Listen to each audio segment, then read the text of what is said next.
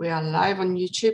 I do apologize, everybody, for being late. George has just gone to grab a drink. I'd hit the go live button. Bless him. He's gone. To, he's just gone to get some a drink, and he'll be with us. So, apologies to everybody because I messed up the time difference by an hour with all the different um, time zones. So just bear with us. He will be here in a second just going to get the chat room up. Hi, Samantha. Hi, Deborah. So I've said hi to John, Brian. Hi, Katie. So I do apologize for being late. It was completely my fault. George is on time, his end. I'm working with so many different time zones right now. It's um that's so the mistake was mine. It was really more going to be 5 p.m. my time, not 4 p.m. Hi Jennifer P. I think you're new to my chat room. Hi Heather. George is amazing. Like with it, he's just been to he's been having a workout. I mean, he's making me feel lazy now. It's cold again in NC. Okay, I'm back. Hi George. Sorry, I, would hit the um the the start button as you said you're going to get a drink. So I've just been explaining um why we were late and it was completely my fault. So I just want to introduce everybody to Dr. George Simon. He's a clinical psychologist. I want to get this term right. He's an author. Like I have only really read your book in sheep's clothing, but you've written quite a few books, and I believe you got a new book coming out. Unless that was an old video I was watching. Right. Uh, uh, I have written four books uh, total so far, but a fifth book is in in production right now. Uh, in sheep's clothing was my first book uh, it's the it's an international bestseller. It's in 22 foreign languages now. It's just going to be published in China too uh, this next month, um, and it's uh, it's been on the bestseller list, believe it or not, for 22 years.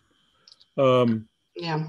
And uh, then my uh, uh, book, Character Disturbance, is a follow up book that deals with all of the various disturbed characters uh, that you're going to encounter in your life, not just the manipulators that I talk about in In Sheep's Clothing. And then um, my book, The Judas Syndrome, was written for the Christian faith community. Uh, and then my bur- book, How Did We End Up Here, which is co authored with Dr. Kathy Armistead uh, tells the toxic relationship partner basically it helps them understand how it all happened how we got here as a society mm-hmm. and basically how to navigate your way through this crazy mixed up character disturbed world of ours uh, and maybe inoculate yourself to future victimization uh, yeah. and my book coming out uh,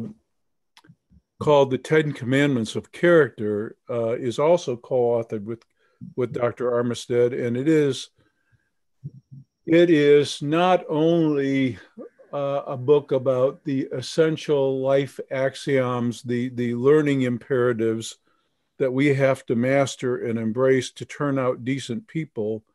Uh, but it's uh, so it's it's not only a guide for rearing children, but it's a guide for how to get your life on track if you've reached that point in your life where you realize that the way you've do, been doing things just isn't working and is causing a lot of pain and misery uh, both to yourself and others. So um, that book i hope to have that book out by the end of the spring.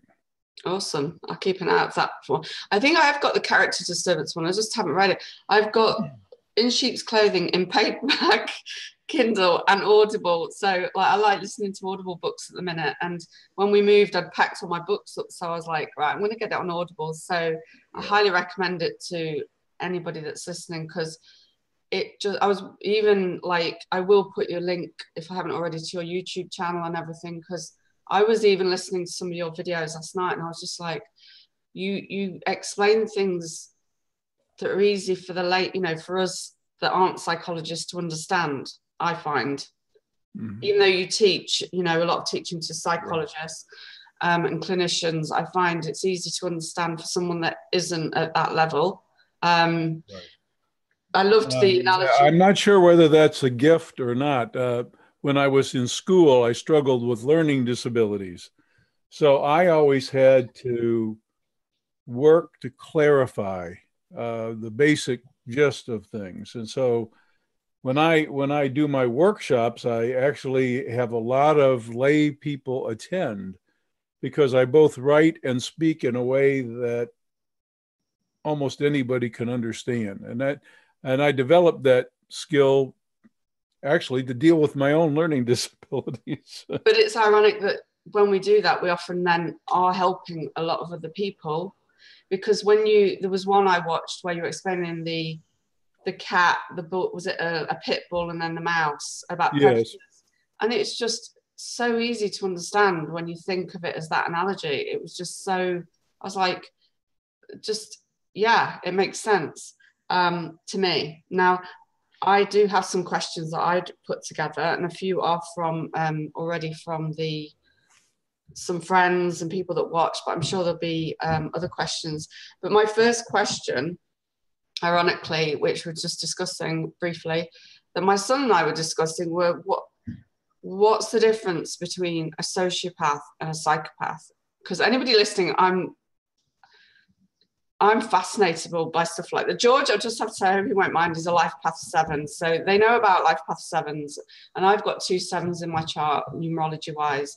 Uh-huh. We're the seekers of the truth, the psychologists. So you're in the perfect profession, your uh-huh. life path number.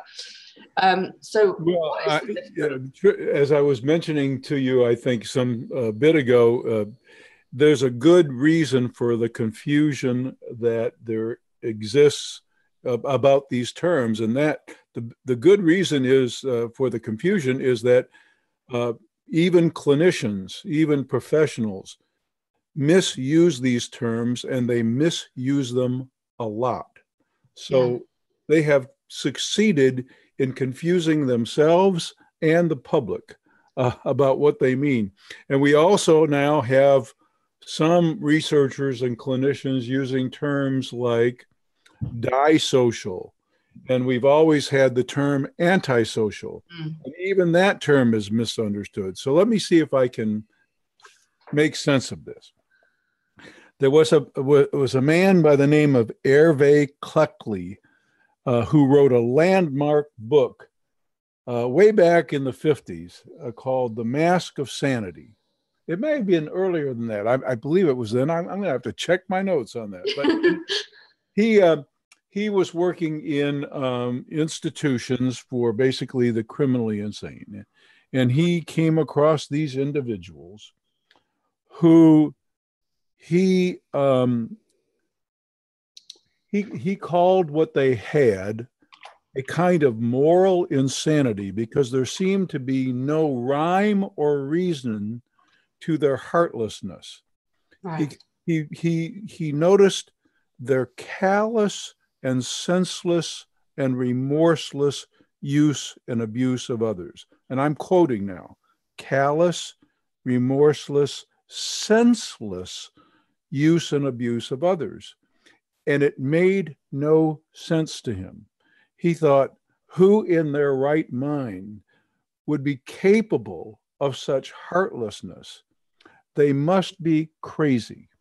And hmm. he's the one who coined the term psychopath. Okay. He saw such heartlessness as a disease of the mind. That's the psycho part of psychopath, a disease of the mind. He thought it was a form of insanity. It's not. Um, psychopaths are not insane. Wow. They're not out of their mind. They know, unfortunately, they know exactly what they're doing. And also, unfortunately, there is rhyme and reason to their behavior, even though it's unpalatable to us, there is rhyme or reason to it.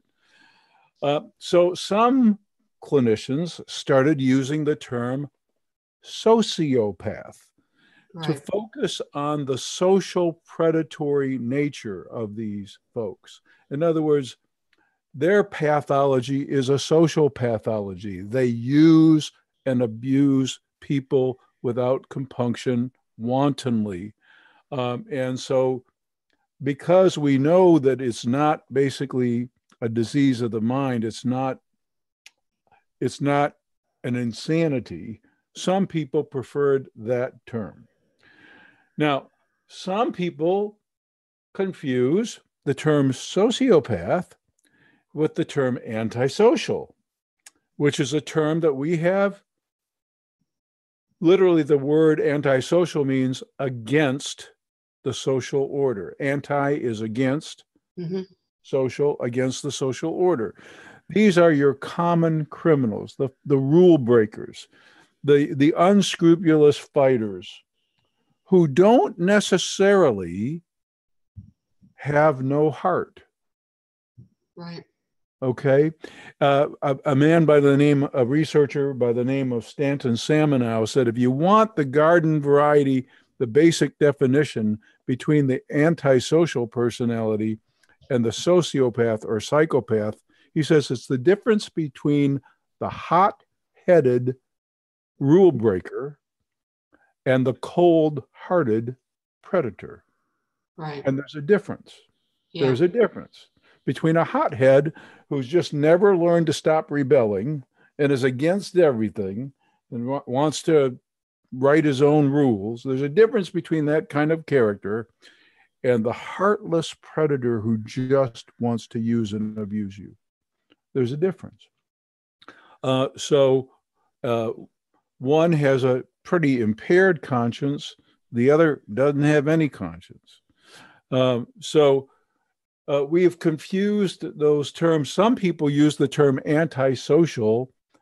Some sometimes they confuse that with asociality. In other words, you're you're you're sitting down at the lunch table uh, in a school cafeteria, and you see a friend uh, who is seated by themselves and not joining in, and you say to them, "What are you antisocial?" Like you know, you don't want to socialize. Uh, that's not what the term antisocial has historically meant. No. But people are using a term uh, colloquially that way. And then some people are talking about dissociality, which is uh, just basically not respecting the need for social order. Uh, so, you, you, know, we uh, we as professionals have done an excellent job of confusing ourselves and confusing everybody else. But mm. I hope that I have just clarified a little bit uh, these terms and and uh, how they came about. Yeah, because my son and I are having quite because he's studying criminology and psychological profiling because he wants to go in the police, but he want he doesn't want to be a Bobby on the beat. He wants to do like the you know the undercover stuff and it fascinates me. So he's studying that sort of thing at the moment. He's 19 so um, we're you know we're just having a discussion about what the difference is. Um, the big um, thing that I feel that will appear, will speak to a lot of people and it does me because this is how I found your book although I didn't know um, this is what I was facing was about narcissistic personality disorder. Um, could you explain about and and this is a whole probably show in itself you could talk for hours about narcissistic personality disorder. Is there a, an easy way to sort of explain i mean i know there's the covert there's the overt i believe um, there's the different types um, can you explain that yeah. to everybody that's listening yeah. or that will listen or watch in the future because yeah well here, here's another way we've succeeded in confusing ourselves as well as everybody else these um, these classifications that we have developed over time for various personality types and personality disorders um, these classification schemes are relatively arbitrary and artificial um, what makes a personality type disordered is also under serious question. Mm-hmm. Um, personality is defined as the typical way that a person likes to relate to others and the world at, at large. It's a preferred way of coping and relating. Um, and if that preferred way of coping and relating is itself the problem, then we're talking about a personality disturbance or disorder. Uh, character, uh, we use that term generally. This is another term that's confused. Some people use it uh, synonymously with personality. Character is that moral aspect of our personality. So um, you can have a personality disturbance and not necessarily have a character disturbance. You can even have a personality disorder and not have a, a character disorder. And what we're now coming to realize is that all these disturbances exist on a spectrum, much yeah. like we've we've realized about the developmental disorders and autistic disorders. Uh, there is a spectrum uh, there of both quality and degree in the kinds of personality disturbances that we see. So, uh, what we're going to be doing in the next several years, uh, the folks that basically write the books on diagnosis, the ICD 9 or 10 folks, and the, I, uh, the uh, uh DSM uh, committee here in the United States, um, they're looking at classifying a personality disorder period and then highlighting what features contribute to the disorder. In other words, is narcissism present and to what degree? And to what degree does that define the personality disturbance? Is dependency present? To what degree does that define the disturbance? Uh, is social avoidance present? All these different dimensions. So there'll be one classification, either a personality disturbance or a full disorder, mm-hmm. and then what makes it up? Um, what features make it up? And that will help end, I think, some of the confusion because there's surely a lot of confusion about narcissism today and all the different forms of it uh, it has many, many different forms. Um, and uh, so there's a lot of confusion about it. And we're also going to have to change our definition of what constitutes a personality disorder because the old rule was if the person's style of relating is so deviant from the norm or so dysfunctional that it causes them problems coping and it makes others unhappy too, then we might consider it a disorder. Well, the problem is that, that many of these personality types that we see these days that are every bit a problem uh, are not that deviant from the norm. As a matter of fact, many folks think that narcissism is pretty much the norm today, just a matter of degree. Yeah. So that that old definition isn't working anymore. And the other part of the definition that isn't working anymore is we used to say something becomes a disorder when it's dysfunctional. Well, just ask many billionaires like our current president whether narcissism works or not. Yeah. They will tell you they will tell you you're an absolute fool for finding fault with them because they're filthy rich and you're not. Thank yeah. you very much. It seems to work. and they've got this and they've got that and they've got people fawning all over them and they've got eye candy for spouses and you know yeah. tell me it's not working basically is their yeah. argument to you so all of our traditional notions need reworking. And what we're where we're moving to is a definition of personality and character disorders that basically looks at how does it impair healthy, fulfilling, intimate relationships?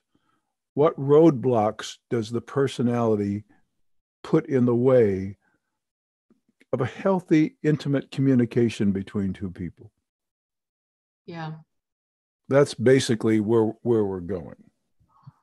So, I mean, I know you can't just go around labeling someone as having full blown NPD, as they would say. Um, is there an easy way to like um, for us, you know, in the normal day to day to spot somebody that's probably, again, obviously it's got to be somebody. Well, you know, it's really hard, especially on the front end of a, a relationship, you know. And like I said, there are many ma- different manifestations of, of narcissism. I, I, wrote a very popular article on my blog at manipulative-people.com just a, a, a little bit ago about the charming kind of narcissist versus the vulgar type. Mm. Some narcissists actually do care what you think of them because it's to their manipulative advantage to come across as uh, endearing. They they want you to like them. They have every intention of exploiting that and using a, and abusing you, but they turn on the charm because they want to seduce you and they can be quite good at it. So they can be quite the Prince Charming, right? Or the other way around. You know, there are women. You know, I've oh. I'm not going to name names, but I've got a family member who I I I can't diagnose, but I'm pretty sure is on that spectrum. And right. boy, after 15 months of no contact, they've tried to get. Honestly, I'm not going to say on that like on air the things that the the way they've tried to hook into my son through his um, heartstrings. Uh huh. Anybody would be thinking like, "Oh, that's so that's so lovely," but boy, can I read through it all and think. And even he right. said that doesn't right. wash for me, and he's 19. Right. He's like, yeah. Right, and we should make that point. You know, uh, there uh, we are in an age of equal opportunity, sex-wise, equal equal opportunity, gender-wise, with respect to personality and character disturbances. Uh, so you know when I when when I give the example uh, of a male, their their female counterparts are are, are exactly the like alike. But you know you can contrast that charming type with the more vulgar type who just doesn't care what you think and therefore says exactly what they feel like saying without any compunction and yeah. they're crass and they're rude and they don't hesitate to cut you down. Um, and we, we, we are, we seem to be more miffed by that. But that doesn't mean that the charmer and the vulgar uh, type aren't the same user and abuser. And so that's how people can get really seduced on the front end of a relationship. You know, the vulgar ones kind of turn you off. Yeah. um, uh, and uh, and you you uh, you may only want to have something to do with them if you have to. Uh, you know, uh, it's just like uh, the, the, these uh, folks in Hollywood who had to deal for years and years with these uh, predators.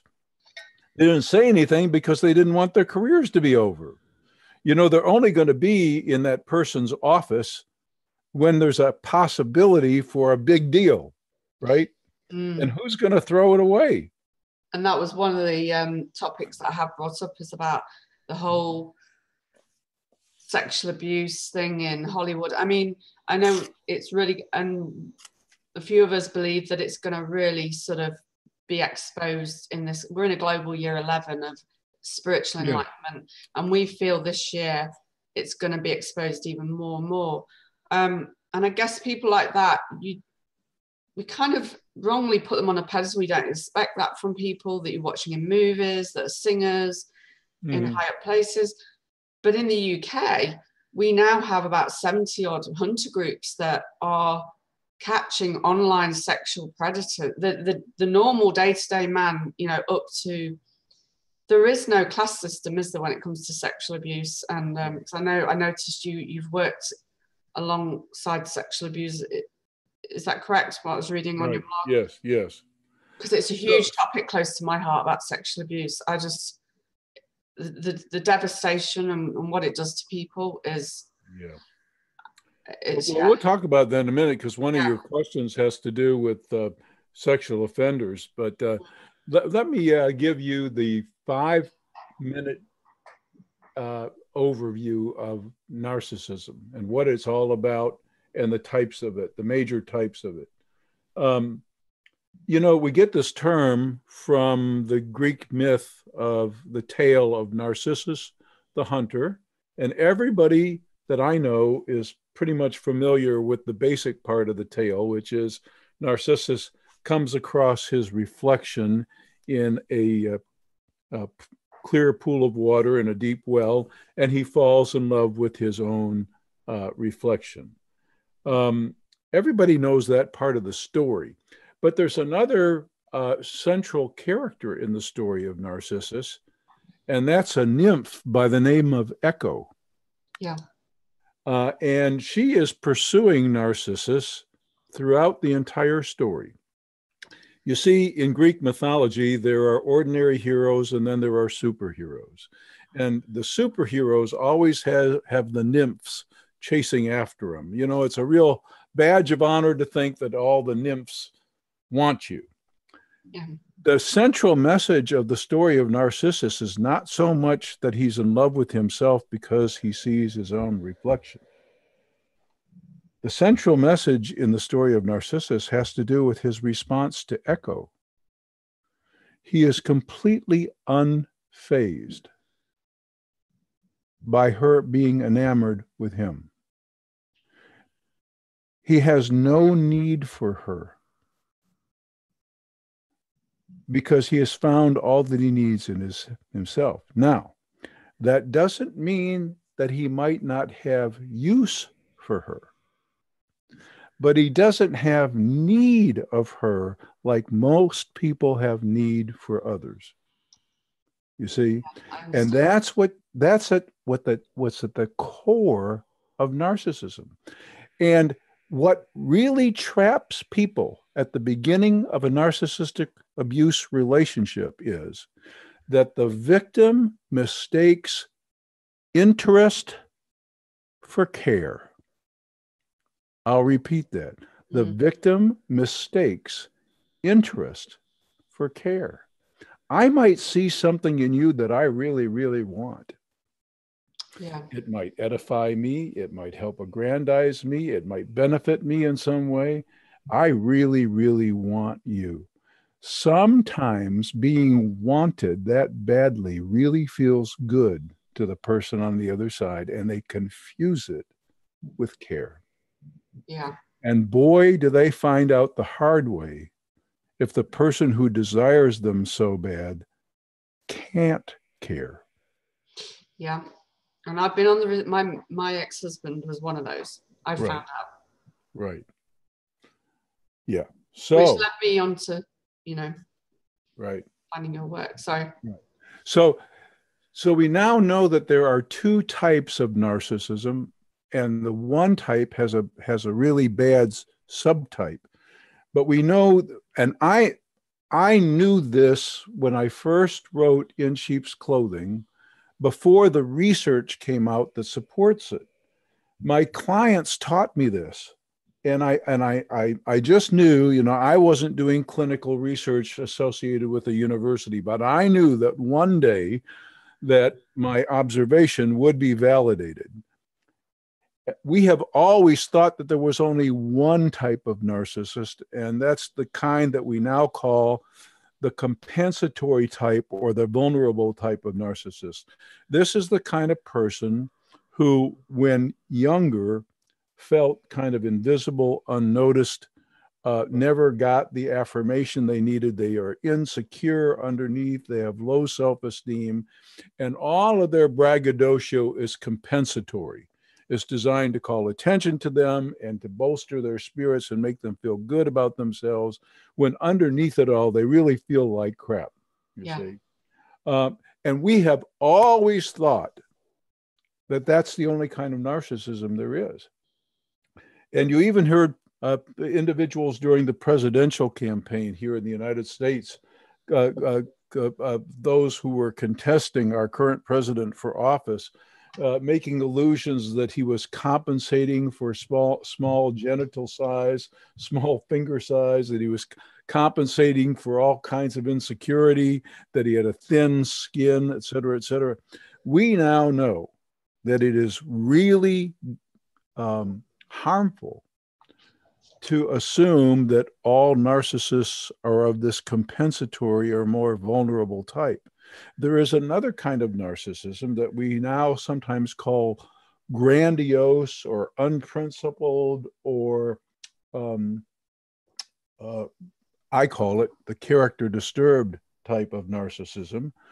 And this is the, the person who really does think they're all that um, they are not compensating for anything. They're they're convicted of their greatness, uh, and um, their their their um, their self assurance um, seems to be confirmed by their experience. Um, they hold themselves in high esteem, whether there's that much truth to it or not, um, and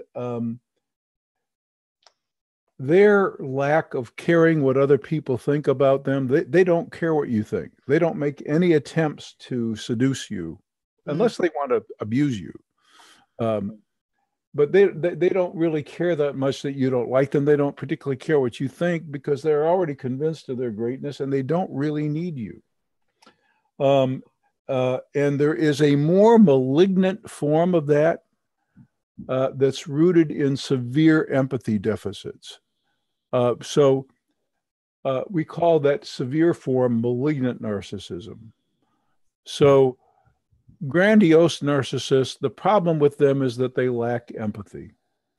Uh, either it wasn't nurtured well enough, or hmm. their brains are wired in such a way where they actually can't have it. They can't experience it. Or a combination of both. Uh, maybe they're impaired in their ability to have it and it wasn't nurtured as well can be a lot of things but for whatever the case they lack empathy. And in the most severe cases where there's no empathy and no conscience we call that malignant narcissism. And that's the core of psychopathy or sociopathy is that malignant narcissism. They can't care. Yeah. No heart. So that's the five minute definition of, of narcissism. The ones just from my experience, and obviously I'm I know I can't go labeling people, but the people from studying your work, I've spent quite a few years researching, reading, watching videos. I've, I know a lot more now than I did, say, 15, 20 years ago. But the people, I don't know about the women, it's more the men, and it's not many, but there's, there's maybe three men that I've almost been stalked by, you know, um, not necessarily um, in relationships. One was a family member. And what I know about them all is they were all sexually abused as children, which hmm. I understand is going to cause a lot of damage. And I have, you know, but what was my downfall was my empathy for that person that had been sexually abused. You know, I was making excuses for uh, not everybody. You, have, you have, to be careful there. You have to be careful yeah. there because these individuals will report abuse histories. Mm. And we have historically, as researchers, we have simply taken their word for it.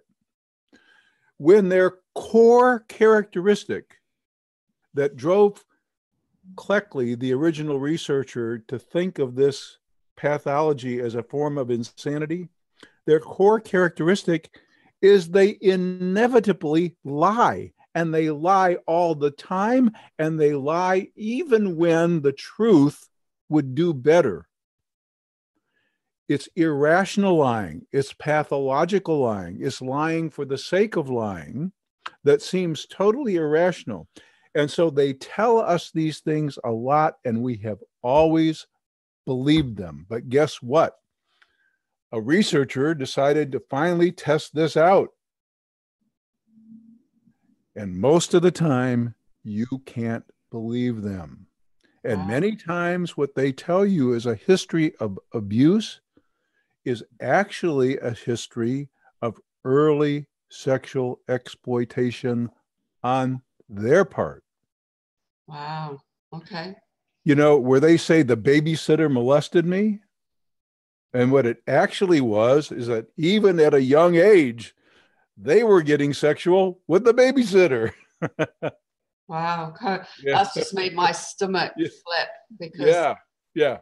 I, there is one case I think was the truth because now that man's behind bars and all three boys testified. Like, I'd be shocked if all three were lying, but in a couple of the other cases, it I don't know if it's true, but one I think is true. But um, like you say, that's made me think. Wow. Yeah. Well, sexual perpetration, yeah, no, I, but sexual victimization on their part as a causal factor. In other words, that they turned out the way they did because they were victimized, you got to be really careful. The number one uh, belief that people have about people who sexually offend is that they were victims themselves. And it's not always the case. And here's the logical here's the logical skepticism that should should uh, should cause us to challenge that belief because that's what they tell us most victims of abuse of all types, most victims are female. Would it not stand to reason that if sexual victimization were causal to you abusing somebody else, and most victims are female, would it not then follow that because being victimized is causal, to you abusing somebody else, and you happen to be a member of the majority group, wouldn't that group be the majority of sexual offenders? Yeah. Are they? Are women the majority of sexual offenders? Oh, not offenders. No, no, no. No. No. No. So, right off the bat, we should have had some skepticism, but we this, didn't. We're now testing it out, though. We're now testing that. And I know a lot of people that come in my chat room that they're, they're empaths, they're very empathic. And for me, that's that there's nothing wrong with having empathy, but it can be our biggest like downfall because this is why we've not so much now. I've learned boundaries. Like I might empathize with somebody, but I'm not getting drawn in like I used to. I can see the red flags going off. But I see so many people thinking that their empathy is getting them, you know, brownie points that, oh, if I'm this nice lady, that this man or these people are going to like me. But they're just like falling into, it's like they're just falling straight into the trap. And I, I don't even have to see it in person. I can see it on social media even. Yeah. And I get really frustrated because I want to shake them and say, wake up, your empathy is going against you.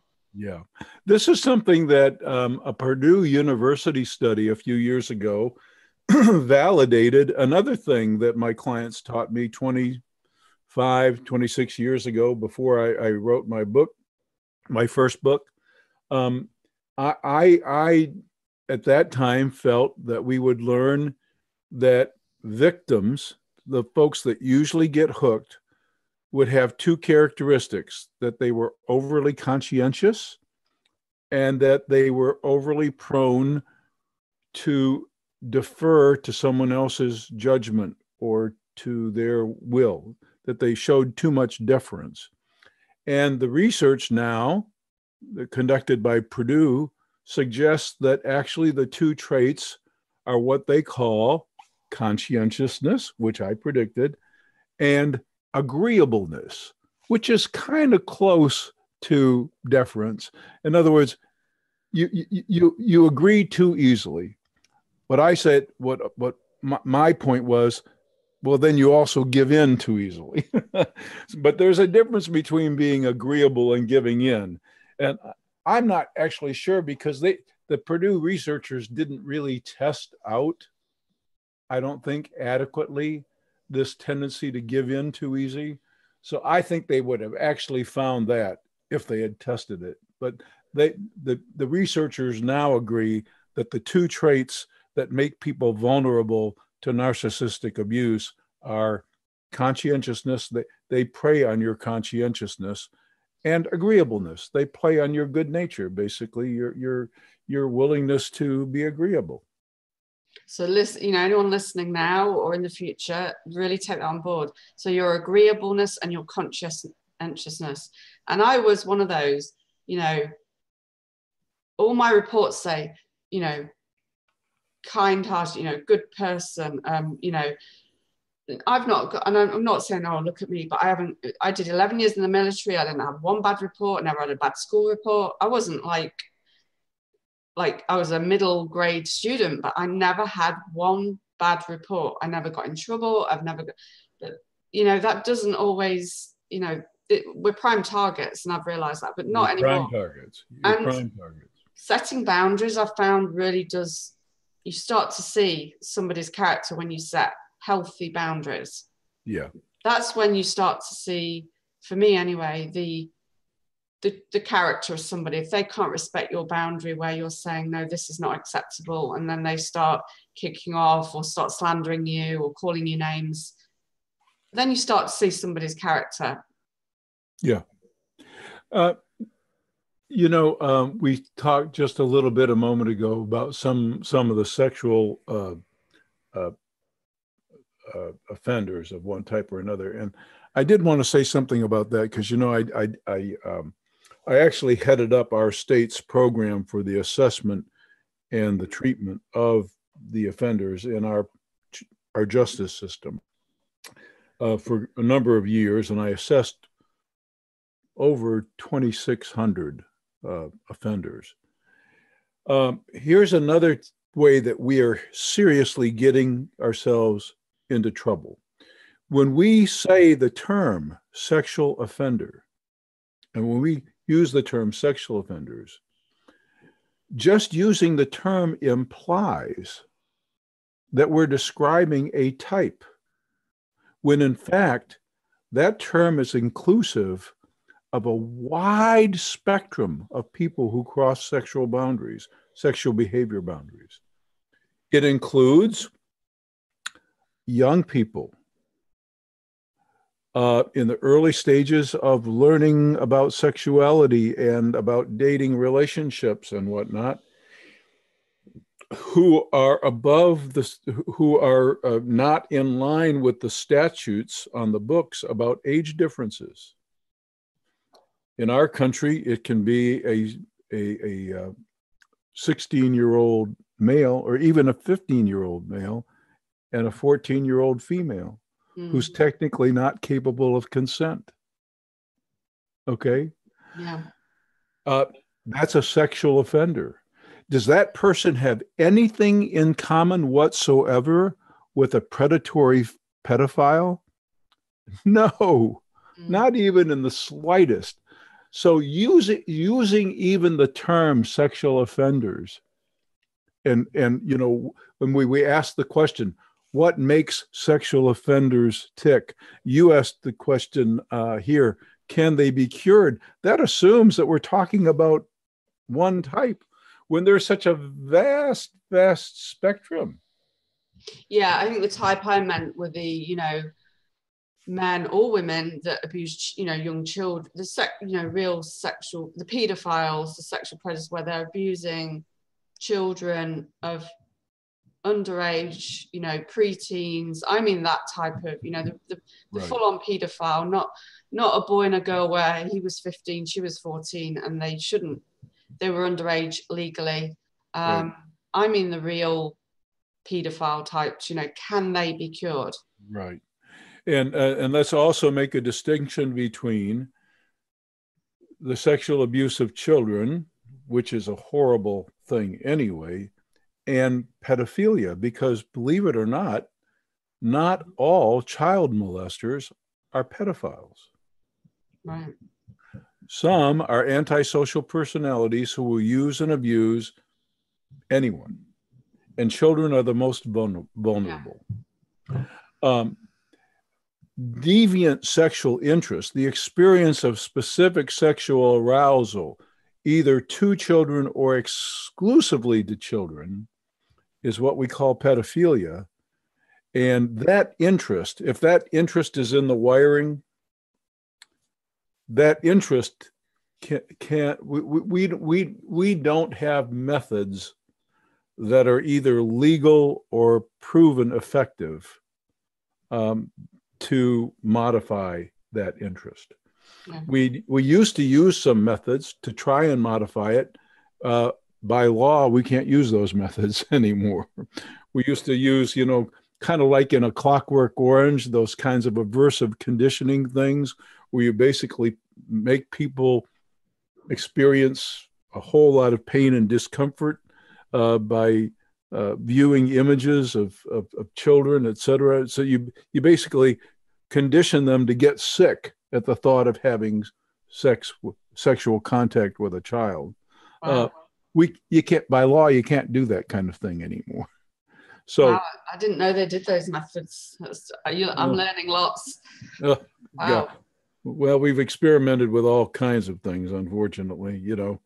Um, but no, uh, if someone has that interest, and by the way, that interest is not conditioned. You know, you will also hear pedophiles notoriously report that they also were abused. Yeah. And um, I wish I could say that that's the causal factor because that it would make it much more understandable and much more treatable. But in fact, it's not always the case. Uh, sometimes it's just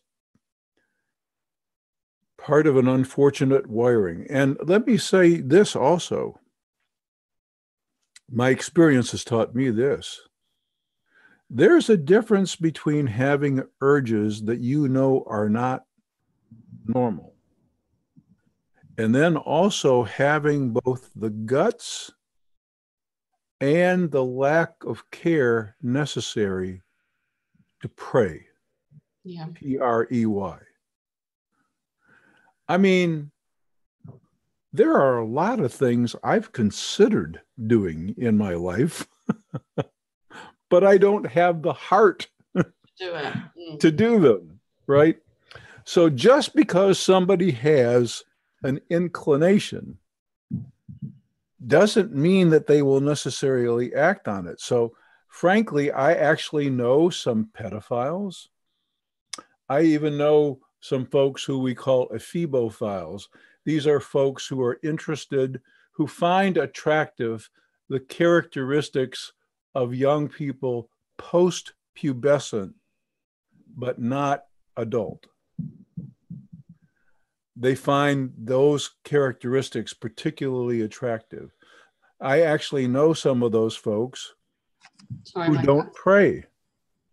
Yeah. In other words, who don't seek out or molest uh, people between the ages of puberty and whatnot. So just having that orientation doesn't make you a predator. You got to have more to it than that. Yeah. You got to have enough lack of conscience, uh, a willingness to exploit, uh, a willingness to gratify yourself at somebody else's expense, regardless of the damage it might do. So it takes a special kind of disturbed character. Yeah. To prey. Does that make sense?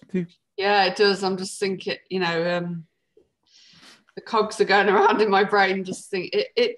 Yeah, there are probably a lot of men, sadly, out there that probably do have an attraction to that prepubescent, but they never do anything about it, and perhaps never would. But right. there obviously are the type that do act it out without a conscience, and um, it's just something that's very close to my heart. The whole subject because the damage it does to the victims is just it, it you know it's just um I don't know where to start. The, the, damage it does to them and what I've seen and um, experienced myself is just, it's hard to get your head around why anybody can do it. But like you say, they've just got no conscience, have they? Well, especially in our culture as we define the norms. You see, it, technically, when, when you look at the research, they, and they've done, believe me, they've done arousal research, believe it or not, lots of it.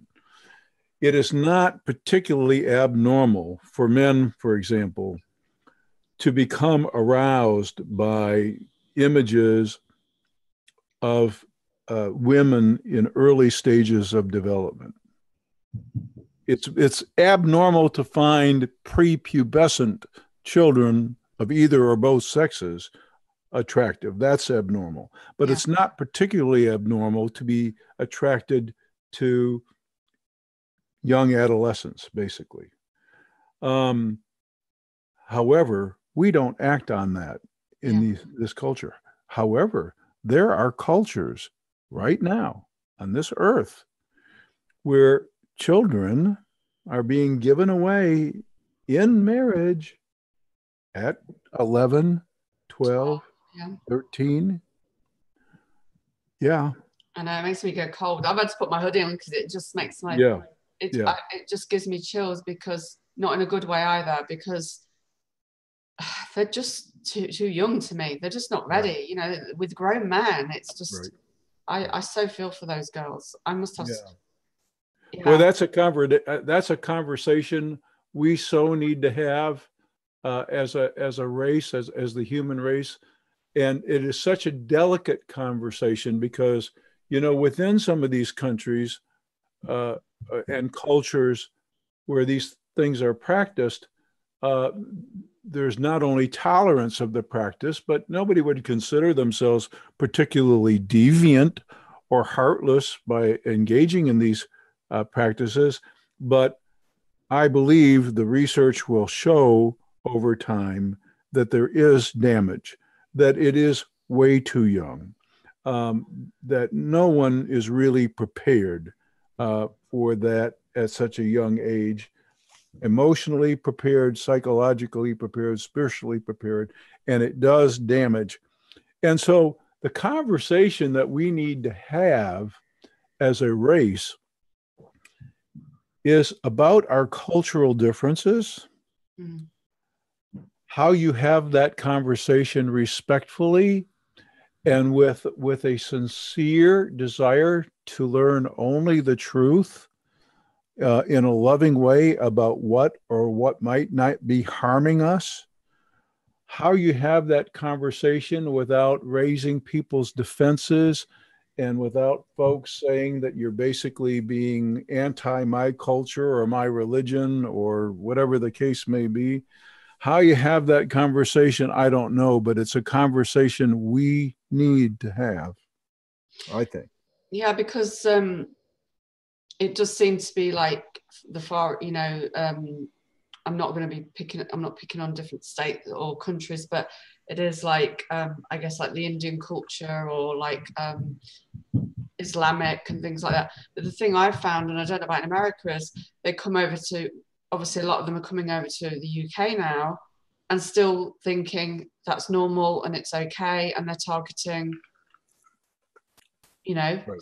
the, the 12 year olds and and not just all the things you said it damages them physically i would say. At 12 years old your body's not fully developed as a woman. Right. Um, and it's a, it is something close to my heart and um, but when they come to our country or your probably country even they think it's still normal because that's what they've been led to believe is normal. Yes. It is a, it's a really it's a huge subject um,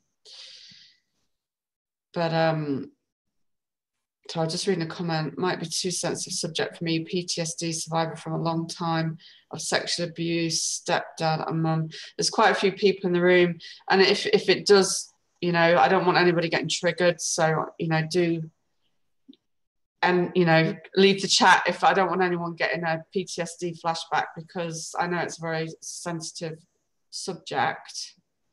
Um, did we cover all the areas that you wanted to cover today? I think we did, yeah. I don't know. Have you got any time for any quick questions, or have you have you got much longer? Sure, I do. I, I don't think I think the only thing we didn't really cover was porn addictions or sexual. Oh yeah, I asked about porn addiction, didn't I? Yeah. Or addictions yeah. in general.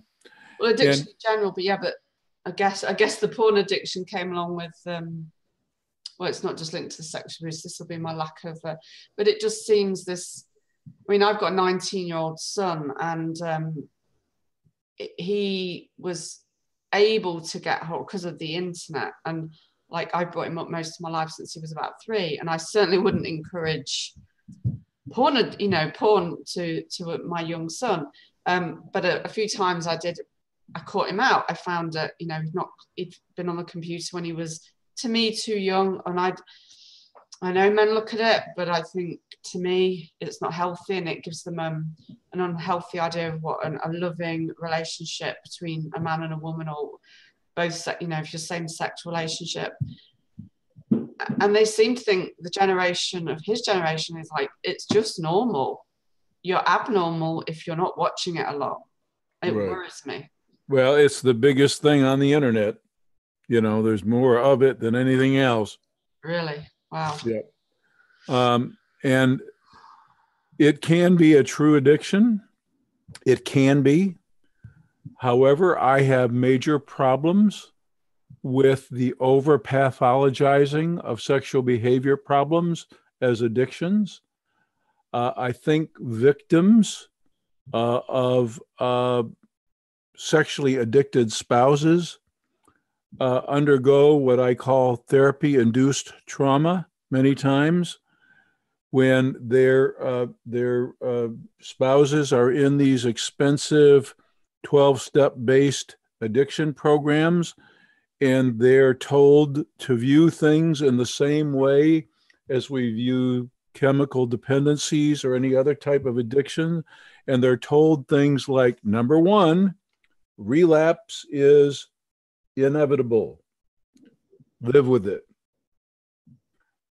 They're told number two, that that the, the addict is too vulnerable to be confronted about certain things at certain times you know? Uh, it's a, and and and and you know the victim is hoping. The, the reason they're they're supporting the treatment and the reason they're draining their bank account to afford the treatment for their uh, sexually addicted spouse is that they, they are hoping that they can stop this behavior and and and get a better life together. Yeah. so when they've gone through all this money and then they're told such things well you got to expect relapses they might have to be in three diff three or four different stints of treatment et cetera et cetera. Think of the victim and what they've go- gone through. This is therapy induced trauma on steroids so one of the big problems I have is the over pathology, uh, over pathologizing of sexual behavior problems, categorizing them too frequently as addictions, even when they're not. I, I have seen genuine ex- addictions exist, categorizing them too frequently as that. And this model of treatment is overutilized and it victimizes victims all over again. So I have a major problem with it. Um, but I do think that sexual addictions exist. I do think porn addictions exist. Uh, it's a sign of our times. And what it's really rooted, rooted in, I think we, we, we lose sight of the problem when we're focusing on the behavior itself. The problem is, is that most of us will work, most of us will grow out of sexual titillation stage and move on to healthy human intimacy if we're emotionally and psychologically and spiritually mature enough to find satisfaction in a truly committed, intimate, loving relationship. When that's there, we we lose our need for this yeah. baser stuff. So the re- the the real issue is not so much the addictive behavior or whatever that behavior is. The real issue is what's the impairment here to intimacy? Mm-hmm. What's going what's what's going wrong with regard to the person's emotional development, their character development, their spiritual development, their psychological development? What's arrested here that makes it difficult for them to find fulfillment in a truly caring, intimate relationship? That's, That's the big question. Because I have a client, and obviously I'm not going to name her, and nobody on here would know her. And she came to me because her partner had watched the porn addiction, and she was going to therapy with him. She was she was a trooper, in you could say, but what the kicker was, then she found out he was giving cocaine to her daughter, who it wasn't his daughter. Yeah. He was giving cocaine to the daughter. She got out then. So Yeah, she was Thank, thank goodness, thank goodness. But many, many folks, unfortunately, many victims experience much more therapy-induced trauma before they finally have enough of it. And some people lose an awful lot of money too. Uh, it's just Yeah. sad. But it, it amazed me that I'm glad she got out of that for her daughter, but the fact that she could go and support him through the porn addiction. Yeah. Well, you know, you believe the professionals and what they Yeah. say and how they frame the problem. Yep. Well, uh, if you've got people who have questions, I'm happy to. Yeah, Yeah. so we've got a little bit long. So has anybody got any questions that hasn't that we haven't covered or that uh, George can answer for you? And people have been saying like this is a big topic, and I'm brave to sort of um, like handle it or face it. But you know, it's something I was going to do a whole YouTube channel on it, but not because I'm an expert, but just from my experiences. I mean, there's a lot of people out there doing it, but eventually I decided not to do it. I'd much prefer to bring someone like you on that knows what you're talking about and help people probably better that way. Um, so have we got any questions? There's a little bit delay on the chat. Quite a few have been talking between themselves. So 50%, I think I was surprised that 53% of my followers and uh, watchers are men, interestingly. And 50% of my viewers are in America at the moment. So Samantha's put how to deal with a narcissist personality. It de- depends on what type. Depends on what type, yeah. Yeah, if it's the vul- vulnerable type who really does care and who uh, who has a conscience uh, and uh, who um, uh, does inwardly feel insecure, uh, all they really care about is knowing that you affirm them in some way. Uh, you don't have to play the game of adulating them all the time.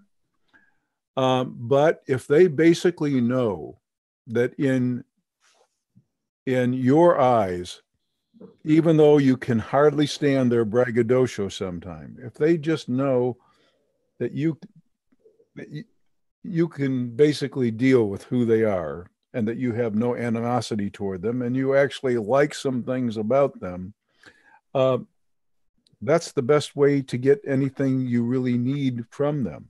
Uh, as a matter of fact, you can even um, have some sway with them because it matters to them that you like them and it matters to them that you affirm them. Now, with the other type, uh, there is a three letter axiom uh, for what you need to do R U N. Run. yeah, Run like hell, Susan. run like hell. Yeah. Yeah. Yeah. Um, there are some that you do literally have to run, get away from, and you stay. Yeah.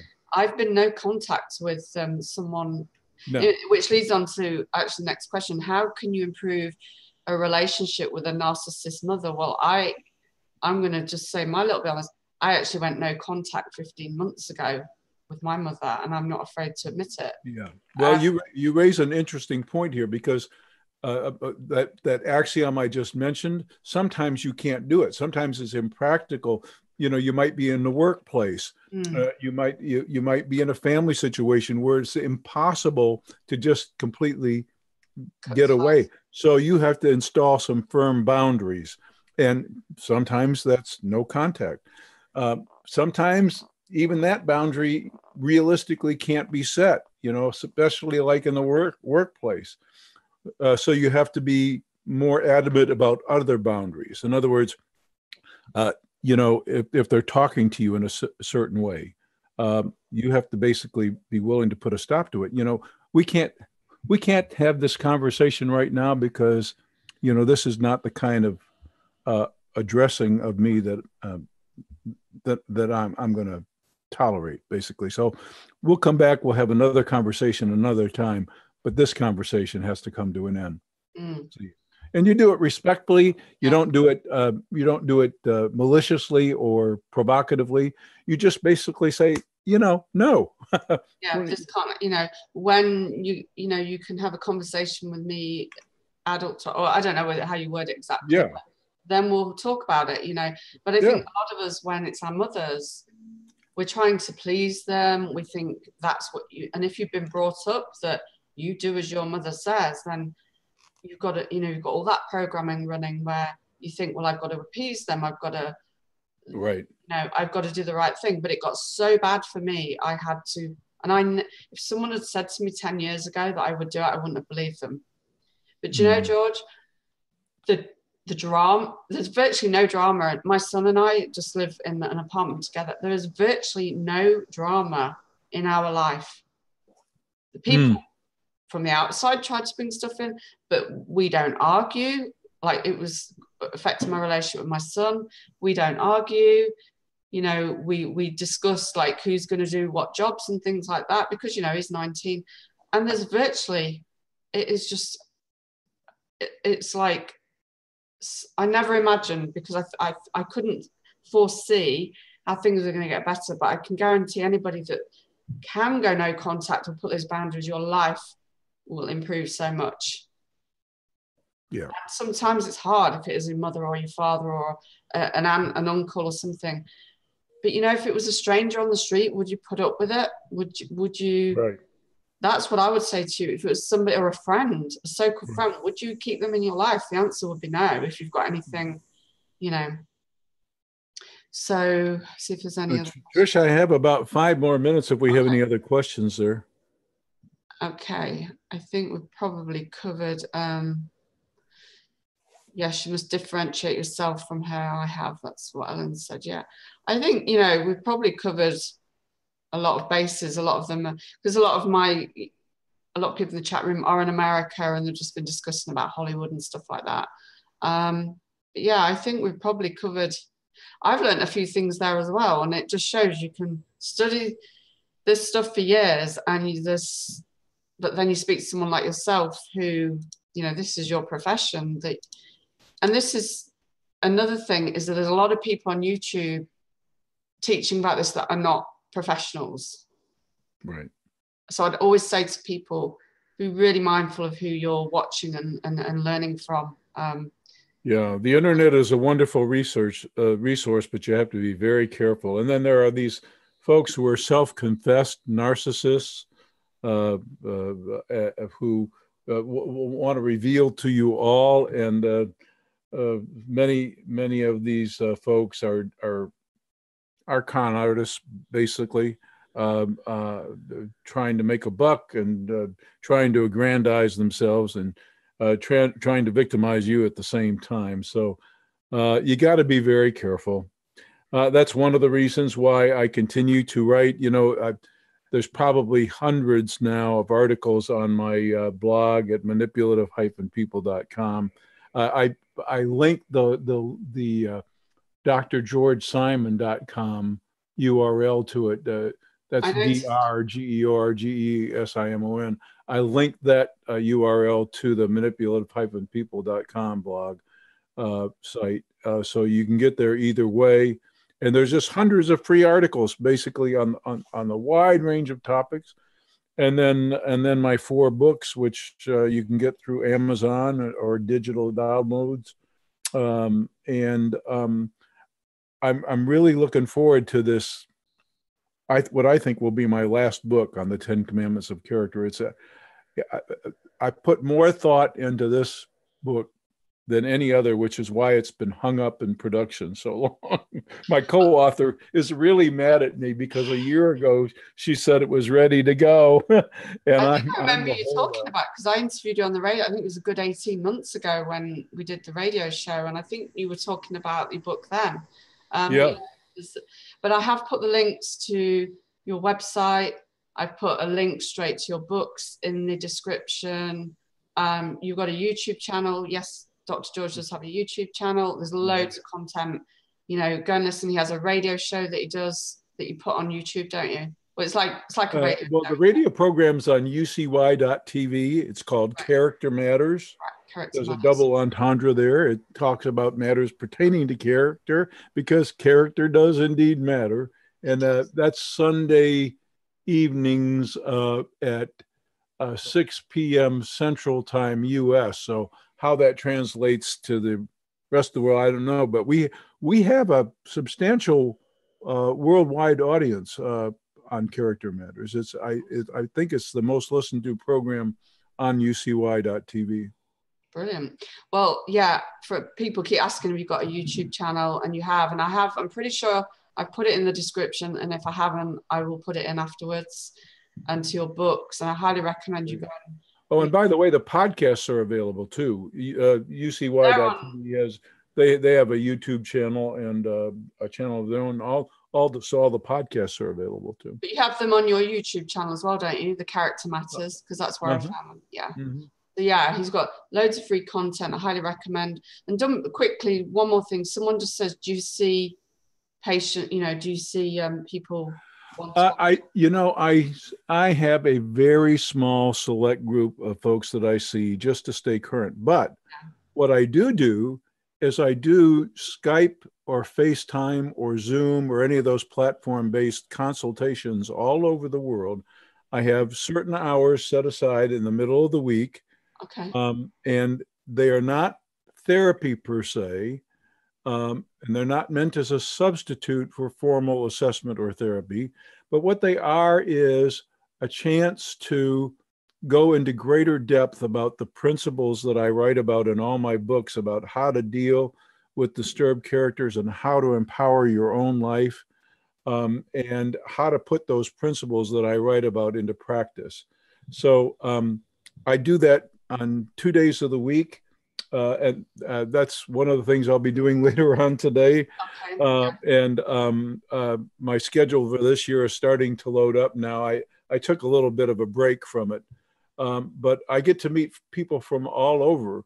The only requ- the only requirement is that people have to be familiar with my work to engage in one of those consultations. So they either have to have read one or uh, more of the books or been familiar with many of my articles and and kind of have at least a basic grounding in the principles that I talk about so that we don't waste a lot of time and Yeah. money.